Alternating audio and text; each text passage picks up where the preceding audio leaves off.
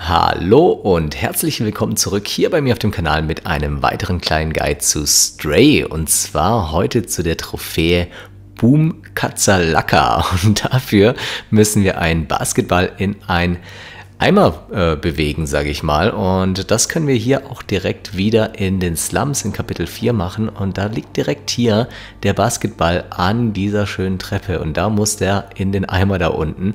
Ich habe es beim ersten Mal direkt mal verworfen, sage ich mal. Und ähm, bin deswegen jetzt hier nochmal besonders vorsichtig. Wenn es nicht klappt, einfach den Checkpunkt nochmal neu laden. Und ihr seht bei mir hier ganz knapp rein.